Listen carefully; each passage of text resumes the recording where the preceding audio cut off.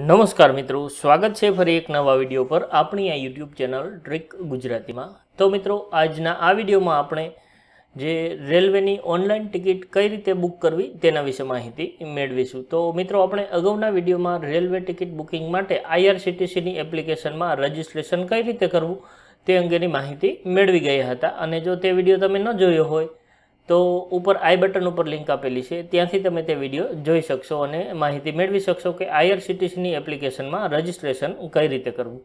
તો આજના આ વિડીયોમાં આપણે જોઈશું કે આઈઆરસીટીસીની એપ્લિકેશનમાં ઓનલાઈન રેલવે ટિકિટ કઈ રીતે બુક કરવી. તો વિડીયોને શરૂ કરીએ. તે પહેલાં આપણી આ યુટ્યુબ ચેનલ ઉપર નવા આવેલા હોય અને ચેનલને હજુ સુધી સબસ્ક્રાઇબ ન કરી હોય તો ચેનલને સબસ્ક્રાઇબ કરી બાજુમાં રહેલ બે લાઇકન પ્રેસ કરી ઓલ નોટિફિકેશન ચાલુ કરી લેવા વિનંતી. જેથી કરી આવી જ અવનવી માહિતીના વિડીયોનું નોટિફિકેશન તમારા મોબાઈલ ઉપર મળી જાય. તો ચાલો શરૂ કરીએ આજનો આપણો આ ટોપિક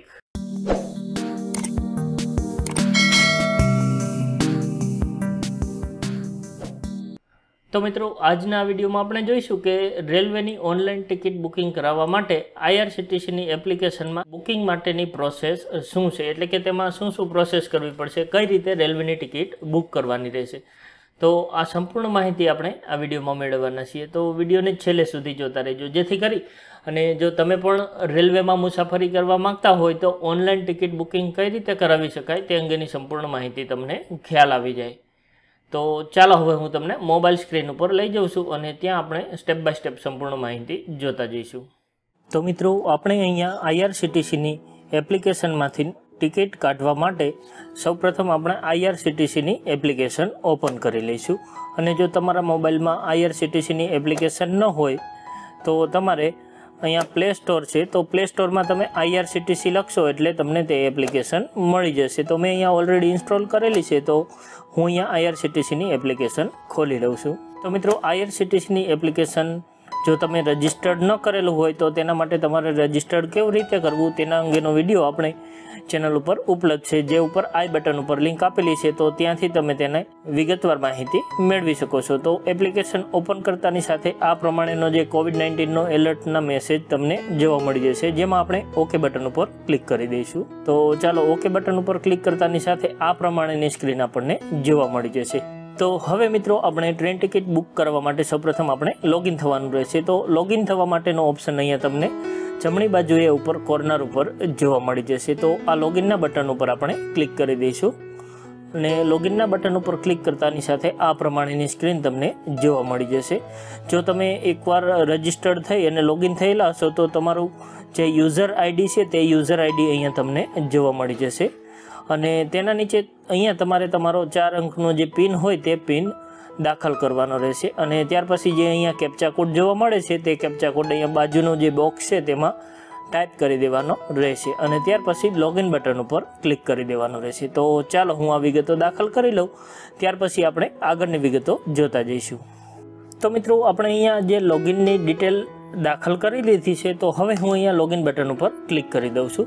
જેવા આપણે લોગિન બટન ઉપર ક્લિક કરશું એટલે યુઝ વેરીફાઈ થશે અને ત્યાર પછી આ પ્રમાણેની સ્ક્રીન આપણને જોવા મળી જશે. જેમાં આપણે અહીંયા ટ્રેનની ટિકિટ બુક કરવા માટે જે પહેલો જ ઓપ્શન છે આપણને જોવા મળી જશે.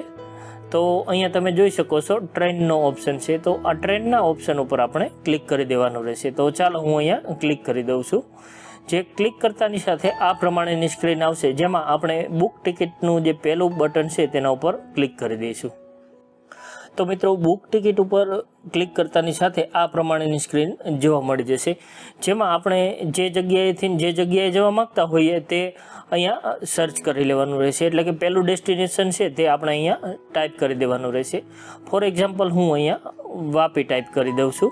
અને ત્યાર પછી બીજું ડેસ્ટિનેશન કે જ્યાં આપણે જવા માગીએ છીએ, તો તે પણ આપણે ટાઈપ કરી દેવાનું રહેશે. અને તે ટાઈપ કરી લીધા પછી અહીંયાથી આપણે ડેટ સિલેક્ટ કરવાની રહેશે. ફોર એક્ઝામ્પલ હું અહીંયા ડેટ સિલેક્ટ કરી લઉં છું અને ડેટ સિલેક્ટ કરી લીધા પછી આપણે અહીંયા સર્ચ ટ્રેનનું બટન તમને જોવા મળી જશે. તો આપણે અહીંયા જોઈ લઈએ સર્ચ ટ્રેનનું બટન છે. તો આ સર્ચ ટ્રેનના બટન ઉપર આપણે ક્લિક કરવાનું રહેશે. તો ચાલો હું અહીંયા ક્લિક કરી દઉં છું. જે ક્લિક કરતાની સાથે જે આપણે રૂટ સિલેક્ટ કરેલ હશે તે અંતર્ગતની જે કંઈ ટ્રેન હશે તે આપણને જોવા મળી જશે. તો અહીંયા જોઈ શકો છો કે આપણે જે રૂટ સિલેક્ટ કરેલ છે તેમાં આપણને કચ્છ એક્સપ્રેસની ટ્રેન જોવા મળી રહી છે. તો મિત્રો, આ ટ્રેનમાં આપણે કઈ ટિકિટ બુક કરવા માંગીએ છીએ? Two S, sleeper, three tier AC. આ પ્રમાણે અલગ અલગ ઓપ્શન આપણને જોવા મળી જશે. ટુ ટાયર એસી અને ફર્સ્ટ એસી. તો આ પ્રમાણે જે આપણે ટ્રેન બુક કરવા માંગતા હોઈએ તે ઓપ્શન સિલેક્ટ કરવાનો છે. તો મિત્રો, હું અહીંયા આપને સ્લીપરની ટિકિટ બુક કરવા માટે ઓપ્શન બતાવું છું. તો ચાલો આપણે અહીંયા એસએલ ઉપર ક્લિક કરી દઈએ છીએ. તો મિત્રો, અહીંયા તમે જોઈ શકો છો, આ પ્રમાણે જે ટિકિટની અવેલેબિલિટી તમને જોવા મળી જશે. તો અહીંયા હાલમાં આપણે જે ડેટ સિલેક્ટ કરી, તેમાં ત્રણ ટિકિટ છે. તો મિત્રો, આ રીતે આપણે જે ટ્રેન અને જે તેનો કોચ છે તે સિલેક્ટ કરી લીધા પછી નીચે અહીંયા પેસેન્જર ડિટેલનો ઓપ્શન છે. તો પેસેન્જર ડિટેલના ઓપ્શન ઉપર ક્લિક કરવાનું રહેશે અને તમારી જે ટિકિટ છે તે ટિકિટની કિંમત પણ અહીંયા આપણને જોવા મળી જશે. તો અહીંયા તમે જોઈ શકો છો, ત્રણસો વીસ રૂપિયા ટિકિટ આપણને જોવા મળી રહી છે. તો ચાલો હું અહીંયા પેસેન્જર ડિટેલ ઉપર ક્લિક કરી દઉં છું. પેસેન્જર ડિટેલ ઉપર ક્લિક કરતાની સાથે આ પ્રમાણેનો એક કન્ફર્મેશન માટેનો એક મેસેજ જોવા મળશે જેમાં લખાયેલ છે કે મહિને अपने गंतव्य राज्य द्वारा जारी स्वास्थ्य निर्देशों का अध्ययन कर लिया है मैं इसे स्वीकार करता हूँ और इसका पालन करूँगा તો કોરોનાને ધ્યાને લઈ અને આ એક આપણી પાસે કન્ફર્મેશન લેવામાં આવે છે અને ત્યાર પછી બીજો એક મેસેજ આ પ્રમાણેનો જોવા મળશે, જેમાં પણ આપણે ઓકે આપી દેવાનું રહેશે. અને ત્યાર પછી આપણે જે મેમ્બર સેવ કરેલા હોય તે મેમ્બરના નામ જોવા મળી જશે. અને જો મેમ્બરના નામ સેવ કરેલ છે, તે સિવાયના કોઈ મેમ્બરની ટિકિટ કાઢવી હોય તો આપણે અહીંયા સ્કીપ બટન ઉપર ક્લિક કરી અને અહીંયા તમે એડ ન્યૂનો બટન જોઈ શકો છો. તો અહીંયા તમે એડ ન્યૂ બટન જોઈ શકો છો, તેના ઉપર ક્લિક કરવાનું રહેશે. અને આપણે જે મેમ્બર સેવ કરેલા છે, તે પૈકીની કોઈની ટિકિટ કાઢવી હોય તો અહીંયા એડ એક્ઝિસ્ટિંગનો બટન જોવા મળશે. તો ચાલો હું અહીંયા મારે એડ એક્ઝિસ્ટિંગ છે, તો ત્યાંથી ક્લિક કરી અને મેમ્બર એડ કરી લઉં છું. ત્યાર પછી આપણે આગળની વિગતો જોઈશું. તો મિત્રો મેમ્બર એડ કરી લીધા પછી આ પ્રમાણેની સ્ક્રીન તમને જોવા મળી જશે. જેમાં આપણે અહીંયા ચેન્જ બોર્ડિંગ સ્ટેશનનો એક ઓપ્શન છે.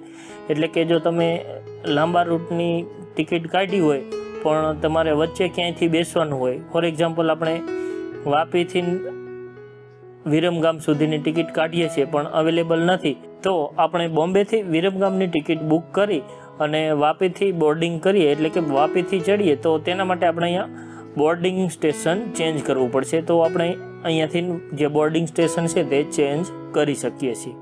તો હાલ આવો કોઈ પ્રશ્ન નથી, એટલે આ વિગત દાખલ કરી લીધું છે. તો હવે અહીંયા રિવ્યૂ જર્ની ડિટેલ ઉપર હું ક્લિક કરી દઉં છું. તો જે ક્લિક કરતાં આપણને અહીંયા ટ્રેનનો સમય જોવા મળી જશે અને ક્યારે પહોંચાડશે તેની વિગત પણ આપણને જોવા મળી જશે. જેમ જ્યાંથી આપણે બેસવાના છીએ તે સ્ટેશન આપણને અહીંયા જોવા મળી જશે અને તેની બાજુમાં અહીંયા આપણે જે સ્ટેશને જવા માગીએ છીએ તેની વિગત જોવા મળી જશે. અને અવેલેબલ ટિકિટ તો અહીંયા અવેલેબલ ત્રણ ટિકિટ છે હાલમાં. આ ઉપરાંત મિત્રો આપણે ધ્યાન રાખવું પડશે.